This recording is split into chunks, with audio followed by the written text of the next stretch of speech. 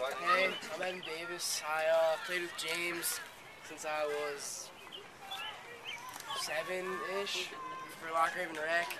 He's always a great player, a lot of heart, played with a lot of heart, hustled all the time, and always did what coach told him to. He's a great friend, very loyal.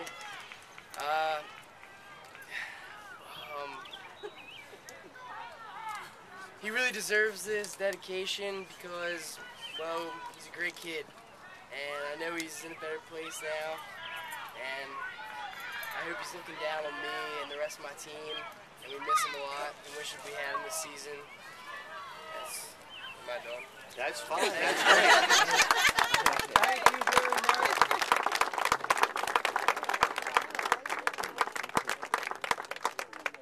I just want to tell you uh, how I knew James.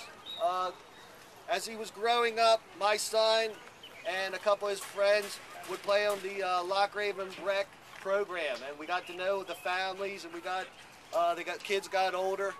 And uh, what I always remembered about James, and I might have said this last year, James lived four houses from the uh, field, and Nick, my son, and Steve would at least li- live around a mile away. And I'm a little paranoid. I'd say you got to get there early. Well, the teams would always be out on this middle field practicing, and he said, "Dad, James lives so close, he's never there." You know. but uh, what I want to say is the middle field. We're going to dedicate that